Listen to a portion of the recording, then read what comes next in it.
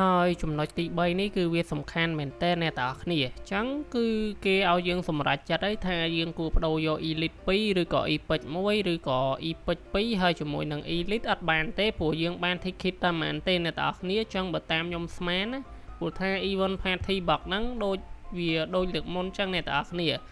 យើងអាចដូរបាន Elite 2ជាមួយនឹង Epic 1ហើយមួយទៀត អ៊ីពេច2តែម្ដងអញ្ចឹងចំពោះគ្នាយើងមកថ្មីកុំភ្លេចជួយចុច Subscribe ខ្ញុំម្នាក់មួយផងហើយបើកសញ្ញាហុករឹងហើយយកពាក្យថា All ដើម្បីទទួលបានវីដេអូថ្មីថ្មីពីខ្ញុំទៀតបាទហើយក៏អរគុណគ្នាយើងមែនទែនបាទដែលបានគ្រប់គ្រងខ្ញុំបាទសួស្តីអ្នកទាំងអស់គ្នាស្វាគមន៍មួយខ្ញុំម្ដងទៀតហើយខ្ញុំបាទ Dynamic Storm ហើយថ្ងៃនេះគឺជាថ្ងៃដែលយើងត្រូវ claim ticket ហើយអ្នកទាំងអស់គ្នានៅម៉ោង3ហ្នឹងគឺគេឲ្យយើង claim ticket និង recharge ចំពោះគ្នាយើងណាដែលអត់មានលុយគឺថាមិនបាច់ recharge ក៏បានដែរអ្នកនរគ្នាអាច ទទួលបាន ticket មួយប៉ុន្តែបើអ្នកទាំងអស់គ្នា recharge អ្នកទាំងអស់គ្នាអាចទទួលបាន ticket 3ជាមួយនឹង ticket 2 ចឹងអាហ្នឹងគឺជាជំរើសដែលយើងរើសណាអ្នកទាំងអស់គ្នាចឹងឥឡូវខ្ញុំនឹងធ្វើការបញ្យល់ពី event party box ហ្នឹងឲ្យអ្នកទាំងអស់គ្នាយល់ឲ្យកាន់តែច្បាស់តែម្ដងចឹងនៅម៉ោង3ហ្នឹងអ្នកទាំងអស់គ្នាអាចអាចបើកមុនក៏បានប៉ុន្តែបើគ្នាយើងចង់មើលខ្ញុំបើកហើយចាំអ្នកទាំងអស់គ្នាបើកក៏បានដែរប៉ុន្តែខ្ញុំរីកមិនឲ្យអ្នកទាំងអស់គ្នាមើលខ្ញុំបើកចាំអ្នកទាំងអស់គ្នាបើកក៏វាល្អដែរអាចធ្វើឲ្យអ្នកទាំងអស់គ្នាទទួលបាន skin ល្អល្អ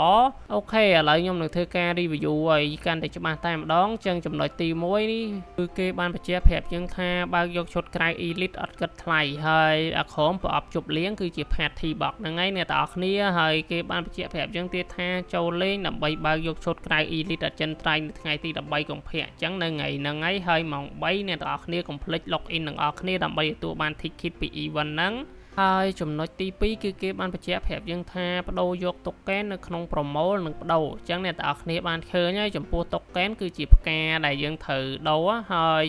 ទី3គឺគេបានបញ្ជាក់ប្រាប់យើងថាប្រើតុកកែនទៅបើកយកឈុតក្រៅនៅក្នុងព្រឹត្តិការណ៍ប្រអប់ជប់លៀងគឺប្រអប់ party box ហ្នឹងចឹងកន្លែងហ្នឹងខ្ញុំសូមបញ្ជាក់ប្រាប់គ្នាយើងតិចកន្លែងដូរតុកកែនហ្នឹងគឺវាត្រូវឲ្យយើងដូរមួយដូរបាន3 ticket មួយទៀតដូរបាន2 ticket ដូរបាន3 ticket ហ្នឹងបាន elite 2ជាមួយនឹង epic 1បើដូរបាន2 ticket ដូរបាន epic ទាំង2 ticket ហ្នឹងតែម្ដង ចឹងអាចំណុចហ្នឹងគឺខ្ញុំរីកមិនឲ្យអ្នកទាំងអស់គ្នានៅវីដេអូក្រោយព្រោះថានៅវីដេអូក្រោយខ្ញុំនឹងធ្វើការព្រោះខ្ញុំមាន2 account អ្នកទាំងអស់គ្នាចឹងខ្ញុំ account មួយខ្ញុំដូរយក3 ticket Elite 2ជាមួយនឹង Epic 1ហើយ account ធំរបស់ខ្ញុំខ្ញុំនឹងដូរយក Epic 2ហើយខ្ញុំនឹងបញ្ជាក់ប្រាប់គ្នាយើងថា2ហ្នឹងយើងគួរដូរមួយណាល្អនៅវីដេអូក្រោយហើយចំណុចទី3គឺគេបានបញ្ជាក់ប្រាប់យើងថាព័ត៌មានលម្អិតអំពីព្រឹត្តិការណ៍ ពេលវេលានៃព្រឹត្តិការណ៍ថ្ងៃទី8ដល់ថ្ងៃទី17ខែកុម្ភៈបំពេញភារកិច្ចនិងផ្លាស់ប្ដូរយកតុកកែនដោយឥតគិតថ្លៃឈុតក្រៅ Elite អចិន្ត្រៃយ៍ត្រូវបានធានានៅក្នុងការបើករង្វាន់លើកទី1ពីប្រអប់ Elite Box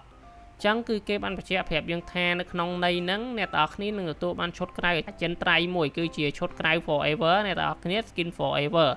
ការពណ៌នាព្រឹត្តិការណ៍ថ្ងៃទី13ដល់ថ្ងៃទី15ខែកុម្ភៈ អាហ្នឹងគឺជាភារកិច្ចដែលយើងត្រូវបំពេញទុកកែនមានរយៈពេលតែ2ថ្ងៃទេហើយនៅពេលដែលអ្នកទាំងអស់គ្នាលេងមួយមិត្តភ័ក្តិអ្នកទាំងអស់គ្នាទទួលបានតុកកែនមួយហើយនៅពេលដែលអ្នកទាំងអស់គ្នា share event ទទួលបានតុកកែន2ទៀតចឹងបើតាមដែលខ្ញុំសង្កេតឃើញថានៅក្នុង event ហ្នឹងបើសរុបជាតុកកែនយើងអាចទទួលបាន24ឬក៏27អីចឹងទៅអាហ្នឹងក៏តាមខ្ញុំស្មានដែរអ្នកទាំងអស់គ្នាព្រោះថារាល់ដងគឺវាប៉ុណ្ប៉ុណ្ណឹង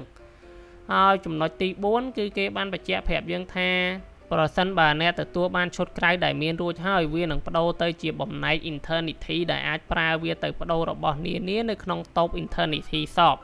ចឹងអាកន្លែងហ្នឹងគ្នាយើងខ្លះក៏គាត់យល់ហើយគ្នាយើងខ្លះទៀតក៏គាត់អត់ទាន់យល់ដែរចឹងអា Infinity ហ្នឹងអ្នកនរគ្នាអាចយកវាទៅដូរជា skin ផ្សេងផ្សេងបានហើយបើកចូលលេងដើម្បីទទួលបានកលាប Q3 ចាកន្លែងហ្នឹងគឺគេបានបញ្ជាក់ប្រាប់យើងថាកុំភ្លេចឲ្យយើង free order ឬក៏ add to calendar